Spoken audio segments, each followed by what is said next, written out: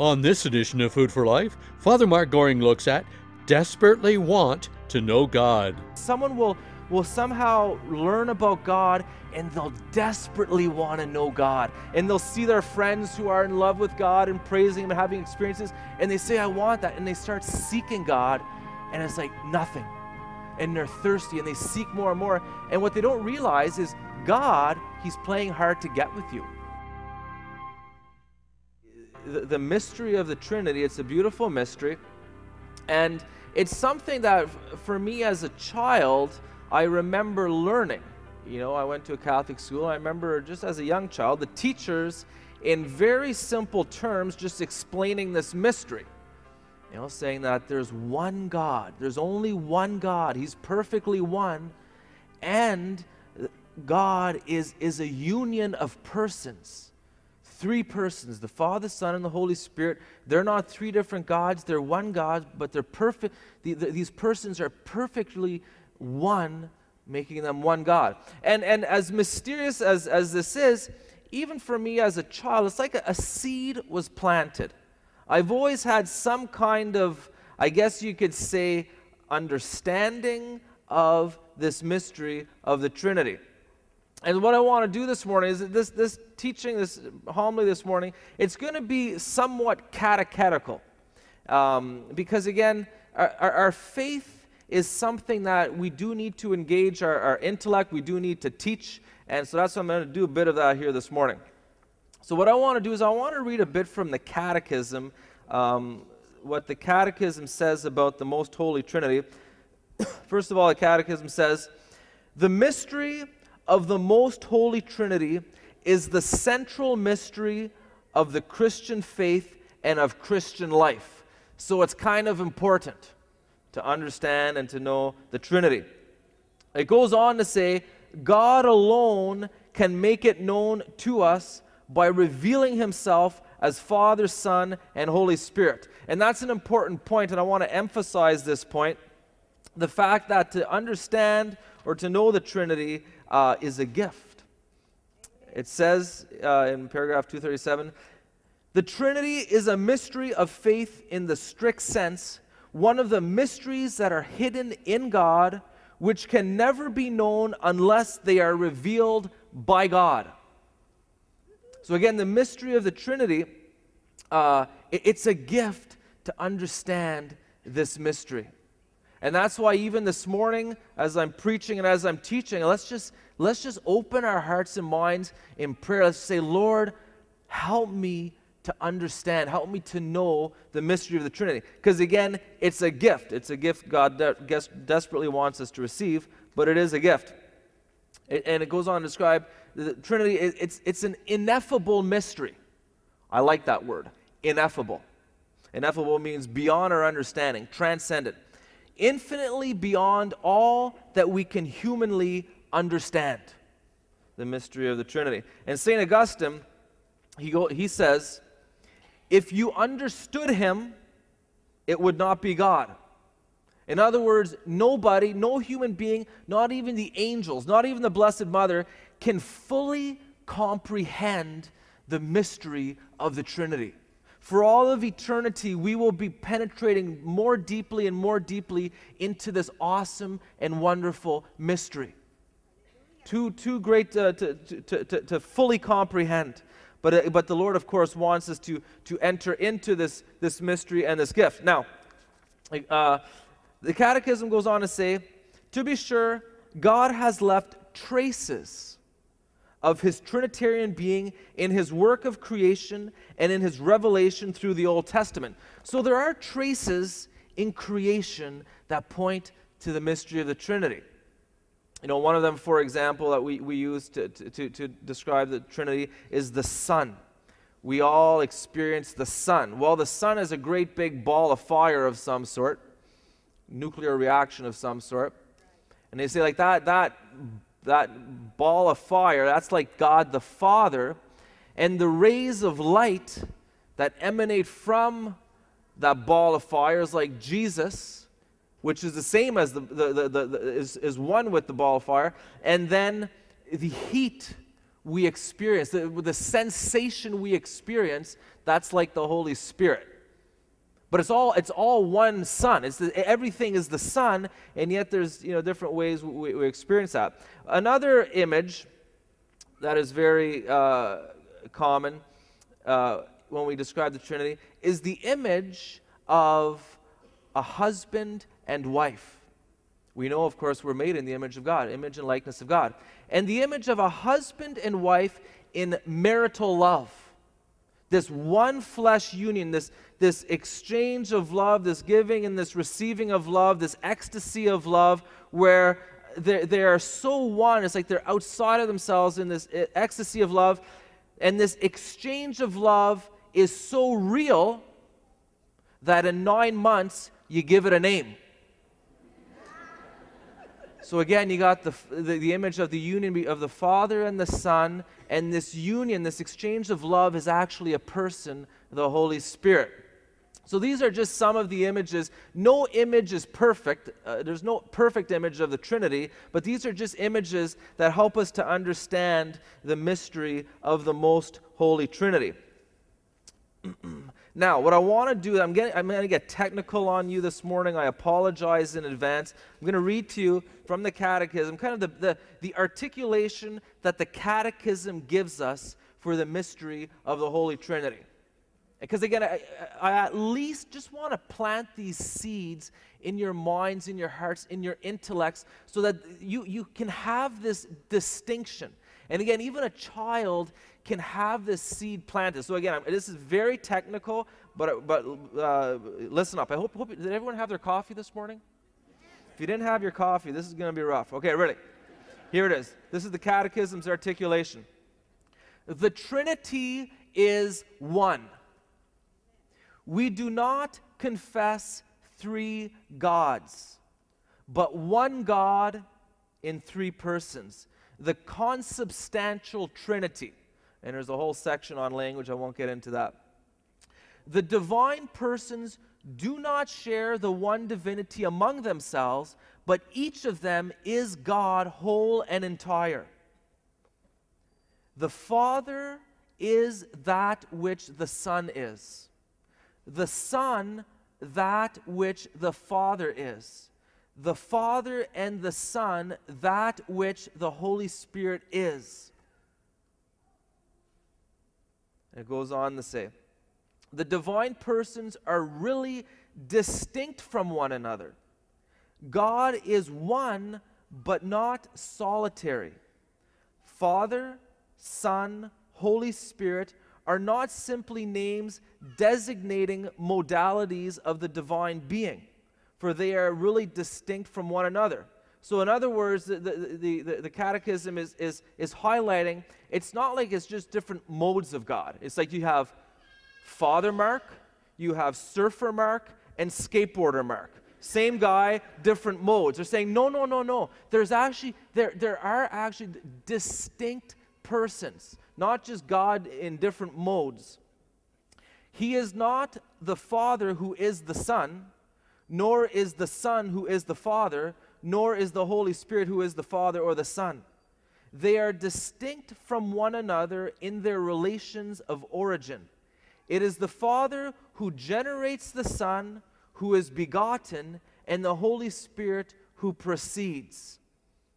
And so there's this whole mystery of, you know, we know that God is, is, is again, a, a communion, relationship, and there's this flow. Uh, again, and this is mysterious, but again, um, the Father who generates, the Son who is begotten, and the Holy Spirit who proceeds eternally. And so I plant that seed in your mind, in your heart, in your intellects, so that you can understand, so that uh, as, as a means of helping you to enter into the mystery of the Trinity, which God desperately wants to reveal to us. Now, uh, uh, again, just highlighting how God wants to reveal us to us, the Catechism goes on to say, God freely wills to communicate the glory of his blessed life. Again, the mystery of the Trinity is something that God desperately wants to, to share with us, to reveal to us. By the grace of baptism, in the name of the Father, and of the Son, and of the Holy Spirit, we are called to share in the life of the Blessed Trinity here on earth in the obscurity of faith, and after death in eternal light. So they say in the next life, we'll have a whole new and deeper and clearer understanding of the mystery of the Trinity. We will continue with the teaching by Father Mark in just a moment. The Food for Life ministry is only made possible by the financial donations from you, our viewers. We ask that after the program you prayerfully consider a tax deductible financial donation to help us continue this Catholic television ministry. To save postage, you may now make your donation online. Just go to our website and follow the link. Thank you for your prayers and support. And now back to Father Mark Goring. I want to highlight again how desperately God wants us to know who He is. In Isaiah chapter 65, the Lord says through the prophet Isaiah, I was ready to respond to those who did not ask, to be found by those who did not seek me. I said, Here I am, here I am, to a nation that did not invoke my name. So again, our God is one who's saying, who, who desperately wants to be found even by people who aren't seeking God. God is knocking at the door of their heart saying, Hey, let me in. Let me reveal myself to you, my love to you.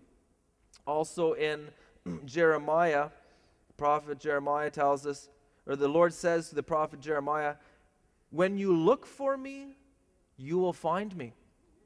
Yes, when you seek me with all your heart.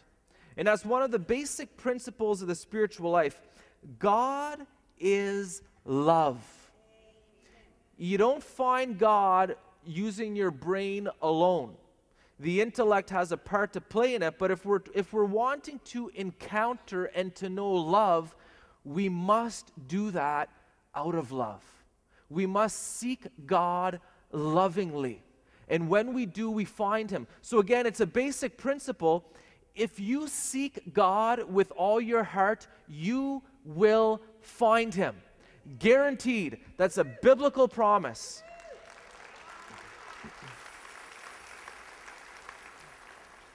But the opposite is also true. If you do not seek God with your heart, with all your heart, you won't find Him. Because again, God is love. And the only way we can encounter God is in this, this, this loving relationship with our hearts. Again, the intellect does play a role in this uh, adventure, but it ultimately is meant to be an experience of the heart. Now, what does this mean for us? Brothers and sisters, each one of us needs to develop a relationship with the most holy Trinity. As a matter of fact, the Holy Trinity, uh, Catechism says, wants to dwell within us. Have you ever heard the expression, the indwelling Trinity? Did you know that the, the most holy Trinity wants to dwell in you? The Father, the Son, and the Holy Spirit. Some people say, Oh, I know Jesus is in my heart, but uh, is, is the Father in my heart? Yes. The, the, I know the Spirit is in me, but is Jesus in me? Yes. The, the indwelling Trinity. And the Lord Jesus himself, he speaks about this. He says, Whoever loves me will keep my word. This is in John 14, chapter, uh, verse 23. Whoever loves me will keep my word, and my Father will love him, and we will come to him and make our dwelling with him. Other translations say, We will make our home in him. So the Trinity wants to dwell in us. And we, we, we see a manifestation of this in Galatians chapter 4, verse 6. As proof that you are children, God sent the Spirit of His Son in our hearts, crying, Abba, Father. There it is in our hearts, the Spirit of Jesus in our hearts, crying to the Father. So, again, this mystery of the indwelling Trinity, the, lo- the love of our God living and dwelling in us, is meant to be something we grow in. So, what does that mean? That means each one of us, we need to develop a, a relationship with the Trinity, and we need to come to know each of the persons personally. We need to develop a personal relationship with God the Father. We can't treat God the Father just like God, you know, uh, far away. You know, there's Jesus, there's the Holy Spirit, and then there's God. No, God your Father. You have to have a relationship with your Father God, with your Abba. Don't just treat him like distant God. He is, he is God, but he's, he's Abba, he's Father. We need to have a relationship, obviously, with the Lord Jesus Christ, who is risen, who's alive, who's Savior. And we need to have a relationship with God, the Holy Spirit, and especially to know the power of the Holy Spirit. The Catechism says that um, one God and Father from whom all things are, and only one Lord Jesus Christ through whom all things are, uh, one Holy Spirit in whom all things are, what is proper to divine persons in their own divine nature, what is proper to the Holy Spirit in a particular way, is this, this power, this experience of His power. In my own life, the first person of, of the Trinity I came into a personal relationship was the Lord Jesus. I came across the charismatic renewal and they kept telling me, You need to know Jesus. And it became obvious to me that Jesus was alive. I invited him to, into my heart and came to a relationship with him. And along with that, almost at the same time, was the Holy Spirit. It's like when I gave my life to Jesus, they told me, Now you're going to experience the power of the Holy Spirit. So those two relationships began, but I had trouble with the, with the, with the love of God the Father. For some reason, I, I, I don't know what, I just felt that, you know, I, I, couldn't receive the love of the Father. And it wasn't until I joined the seminary when people kept insisting to me, you need to know the love of your Father. You can't just treat the Father like distant God. He is your Abba. He is your Father. He loves you unconditionally. He wants to know you intimately. He's on your side. And again, it's like seeds that have planted and that we're meant to nurture and grow. My, my love, my intimacy, my knowledge of the Father has grown. It continues to grow. My, my love of Jesus has grown. It continues to grow. My love of the Holy Spirit has grown. It continues to grow. And, and, and the Trinity, you know, st- I still pray the Trinity. One of the things I like to do, I think I was taught this in the seminary, when I'm waiting on God's word, is I like to praise the Trinity. I like to praise, you know, you know, glory to you, Holy Trinity, you are awesome. And I always like to highlight that they made me. Holy Trinity, you made me. Then I start with the Father, Abba, Father, you, uh, you are the Father, Almighty, Maker of heaven and earth, of all that is seen and unseen. You made me. I praise you, and I praise the Father for a bit. Then I thank you for sending your Son, Jesus. Jesus is the Word who was in the beginning with God, through whom all things were made. So Jesus, you made me. I praise you, and I, you know, and I, I highlight you know who Jesus is. You are the light that shines in darkness. You are the good shepherd. You are the Alpha Omega. You are the bread of life. And thank you for sending the Spirit. And His Spirit, you are creator spirit, so you made me too. All of you know, one God made me. I praise you, Spirit. You are you are my you, the power. You are the you know the, the, uh, my my my guide, the Paraclete, the Counselor, and all that. And then I just kind of pray in the Spirit in general, and then I wait on God's word. That's what we're taught. The best way to catch God's word is to, to just pray in the Spirit to the Holy Trinity and then wait on the Word. So that's just one example of, of, of this Trinitarian faith, knowing the Father, the Son, and the Holy Spirit. Now, I want to close with one scripture. God wants us to have a relationship with Him, but God sometimes plays hard to get. Did you know that? Sometimes God plays hard to get. And sometimes you see that someone will, will somehow learn about God and they'll desperately want to know God. And they'll see their friends who are in love with God and praising Him and having experiences, and they say, I want that. And they start seeking God, and it's like nothing. And they're thirsty and they seek more and more. And what they don't realize is God, He's playing hard to get with you. But when you find Him, look out, you're going to have a deep, deep relationship with Him. And we see this in the Song of Songs, this romantic poetry that's an image of the love between God and his children. The, the beloved, that's us, says, I was sleeping, and this is in chapter 5, verse 2 I was sleeping, but my heart was awake. The sound of my lover, that's God, knocking. Op- and he says, Open to me, my sister, my friend, my dove, my perfect one. God sees our perfection. When God sees you, He says, You're perfect. You say, Yeah, right, I'm not perfect. I'm a sinner. I'm broken. Yeah, but God says, In my eyes, I see your perfection. That's what I see. I see what's good. You're perfect in my eyes. Can you accept that? Goes on. She says in verse 6 I opened for my lover. So she opens the door, but my lover had turned and gone. At, at his leaving, my soul sank. I sought him, but I did not find him. I called out after him, but he did not answer me. And in the next chapter, she finds him. But it's, it's, it's kind of a reminder to us that God, again, He's a lover. He's love. There's a, a, a passion, that you could say, in God. Our adventure of growing to, in love of God and coming to know God, it's a passionate adventure and journey. You know, the, the, Lord has a, a playfulness to Him. God isn't all serious. Just go to an aquarium and see some of the fish He created, okay? God has this passionate, playful love. He wants us to know Him, but sometimes He also plays love games with us. This is what the mystics tell us. And so, brothers and sisters, this is the wonderful adventure to which all of us who have been baptized in the name of the Father and of the Son and of the Holy Spirit are called to.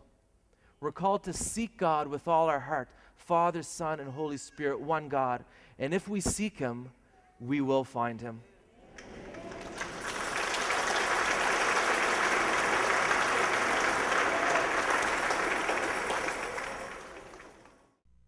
For an audio CD or video DVD of the teaching by Father Mark Goring on Desperately Want to Know God, we invite you to write to us. Our address is Food for Life, Box 1107, Station F, Toronto, Ontario, M4Y2T8. When you write, ask for an audio CD or video DVD a program 1885. On the next edition of Food for Life, Father Mark Goring looks at Believe that you are forgiven. Hey, I'm sorry for what I've done. Would you please forgive me? And I say, Yes, I forgive you. Well, if they come up to me 10 minutes later and say, Oh, I'm really sorry for what I've done. Would you please forgive me? I'd say, Dude, I just forgave you. Don't you, don't you believe that I've forgiven you? It kind of hurts. And if the week later, Oh, I'm really sorry for what I've done. Would you please forgive me? I say, Hey, I've forgiven you. And it's the same with God.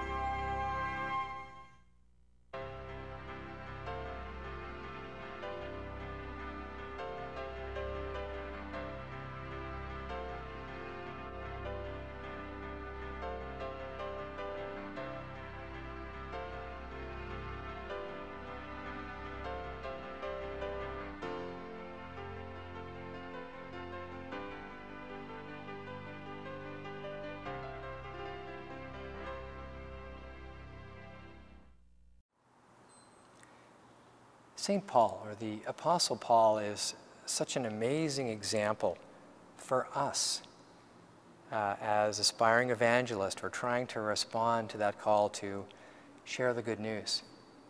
Now, you may think, well, you know, I can't really relate to St. Paul. He was a full time apostle. Well, did you know that he had to work for a living like the rest of us? If you go to Acts chapter 18, when he went to uh, Corinth, he worked, um, he worked as a tent maker. So he had a full-time occupation. He worked with some folks that he knew. And then he dedicated himself to, to preaching. So right, right then and there, St. Paul is someone we can identify with, let alone many of us may be having a past life that was in opposition to God, and God maybe had to do something with us to get our attention. So there's two things that we can, many of us can identify with St. Paul. And then he goes to preach the gospel. He's dedicated to doing this, and he runs into some opposition. Right? So, has that happened to you? That you've preached the gospel, and here he was preaching to Jews. Have you tried to share your faith, maybe with folks that have a religious background? You know, maybe yes, maybe no and you've received some serious opposition. You thought that talking about spiritual things with other folks you know from church and so on would be something that folks would be kind of pumped about. And yet, to your surprise, you got some serious opposition. That would make you also similar to St. Paul. But St. Paul didn't give up.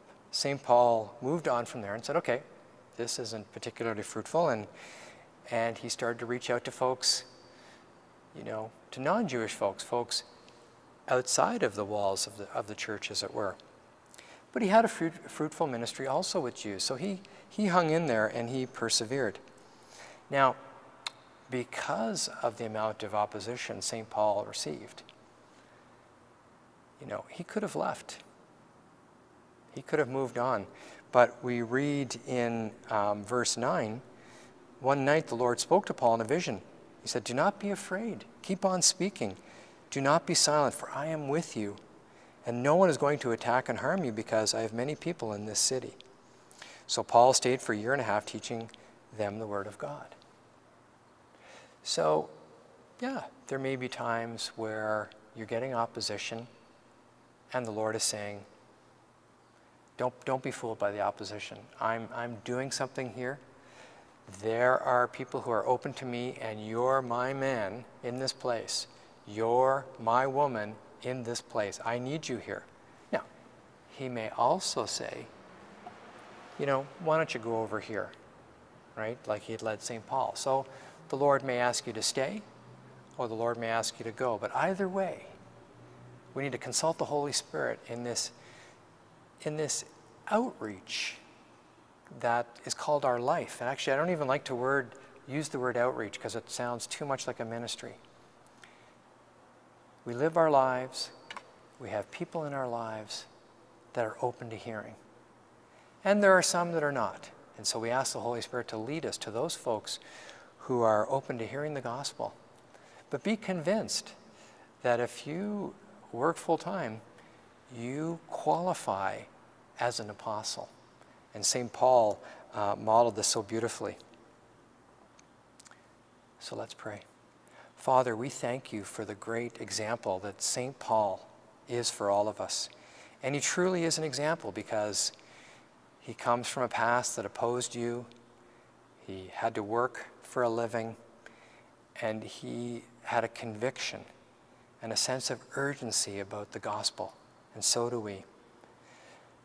But Lord, we know that maybe our ministries, you know, we need to we need to maybe step up our sharing of the gospel. So we pray, Lord, that you would you would give us courage, that you would show us those people that are open to hearing from you. Open our eyes. Maybe they're people that, you know, we wouldn't expect.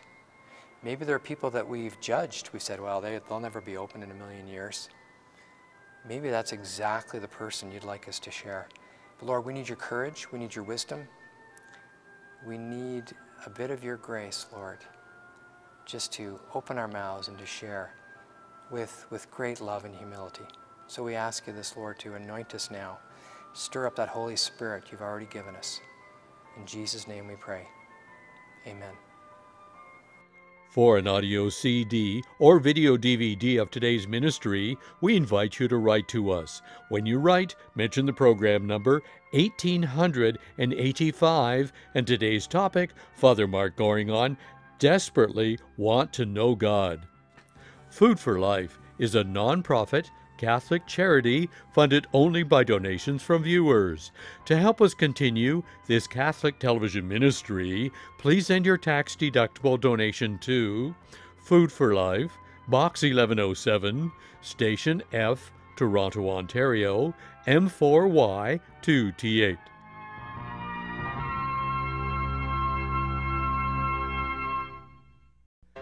On the next edition of Food for Life, Father Mark Goring looks at Believe that you are forgiven. Hey, I'm sorry for what I've done. Would you please forgive me? And I say, Yes, I forgive you. Well, if they come up to me 10 minutes later and say, Oh, I'm really sorry for what I've done. Would you please forgive me? I'd say, Dude, I just forgave you. Don't you, don't you believe that I've forgiven you? It kind of hurts. And if a week later, Oh, I'm really sorry for what I've done. Would you please forgive me? I say, Hey, I've forgiven you. And it's the same with God. We would like to thank you for your financial support of the Food for Life television ministry. Food for Life is funded only by viewers like yourself. We have no commercial sponsors. Your tax deductible donations help pay for production of the program, pay the television station for the time that the program is on the air, and pay for the mailing of our monthly newsletter. Thank you again for your support of this Catholic television ministry.